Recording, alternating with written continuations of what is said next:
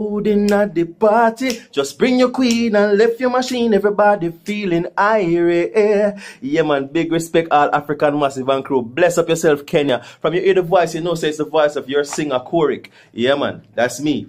And I want to say to you, say, you know, the elections are coming around real soon, and we want peaceful elections. We want safe elections. See, let's not fight each other because a city divided cannot stand. Yeah, man, let's unite, let's come together and show the world what a force we are to be reckoned with. You know what I mean? We can only do that through unity, love, and respect. You see I say? So let us come together, let's be peaceful about it and have safe elections. See in Kenya, one love again, respect. Everybody feeling irate. Yeah, man.